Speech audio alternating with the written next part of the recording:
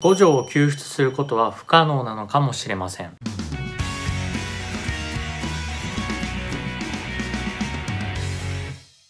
どうも皆さん、チャオモカです。ということで今回は獄門鏡裏についてお話をしていきたいなと思います。まあ、この獄門鏡の裏っていうところに関してはちょっと思うところがね、今2つあって、まあ、そのうちの1つっていうのをちょっと今回の動画でお話をしていきたいなと思うんですが、で、もう1つの方っていうのがこれの次か、その次ぐらいの動画で出していこうとは思うんですけど、まあ一応このね、裏っていうものを天元様からもらっているっていうのがあってね、この獄門鏡裏っていうのをこじ開けることで、五条っていうのを救出することができるっていう風に今一応なってるんですけど、果たしてそれが本当にうまくいくのかっていうところなんですよね。まあ、そもそもどういう仕組みになっているのかっていうところもね、気になってくるところではあるんですけど、獄門鏡によって封印された五条っていうのが、まあ、獄門鏡裏から出てくるっていうことは、まあ、そこが中で繋がっているっていう風になってくるのか、物自体はね、別々にあるのに、どっちにも五条が入っているっていうのはね、なんか五条が分身しちゃってるみたいな、そんな風にも思ってしまったりもするので、なんかそれもちょっと気になったりするんですけど、そもそもこの五条の救出っていうのを考えた時に、絶対的にうまくいくはずがないんですよね。なぜかっていうと、五条の封印っていうのは物語の展開を考えてみてもそうやし、芥見先生自身も話を進めるために五条っていうのをなんとか排除したかったわけなんですよね。でも五条っていうのは現代最強の術師っていうところで、そう簡単に殺せるわけでもないんですよ。五条を倒せる敵がいるわけじゃないんですよね。っていうところで、五条が死ぬっていうのは無理やから封印っていう道を取っていったんですよね。で、これに関しては、賢弱がね、実際にそうしていった陸眼っていうものを持っているプラス、現代最強の術師だからこそ殺すっていうのではなく封印っていう道を取っていた賢弱そして物語を進めるためにも芥見先生っていうのは五条を封印させたっていうところで賢弱は今計画を進めている途中なんですよね。で芥見先生自身も今話を描いてる途中なのでこの途中で五条があっさり出てきてしまうっていうのはその後の展開っていうのがやはりストップしてしまうわけなのでそう考えるとそう簡単に五条が出てくるっていうのはまあほぼほぼありえないところではあるんですよね。でもまあ終盤の方にはね五条が出てくるっていうのは絶対的に必要なところなのでパパグロと伏黒の剣もあるのでその辺とかを考えるといつかは出てくるわけなんですけどこの死滅回遊の時にクルス花とね接触してこじ開けたところで五条の救出っていうのは叶わないんじゃないかなっていうふうに思うんですよね。じゃあこの獄門鏡裏っていうものをこじ開けた時に何が起こるのかって考えるとこの獄門鏡裏っていうのはいわゆる裏門っていうような言い方がされていたんですよね。この裏門と表の門っていうのを考えた時時にとあることわざっていうものがあるんですよ。この表の門と裏の門に関係していることわざっていうのがあってそれっていうのが全門に虎を防ぎ肛門に狼を進むっていうようなことわざがあるんですよ。でこれっていうのが一つの災いを逃れてもさらにまた他の災いに遭うことの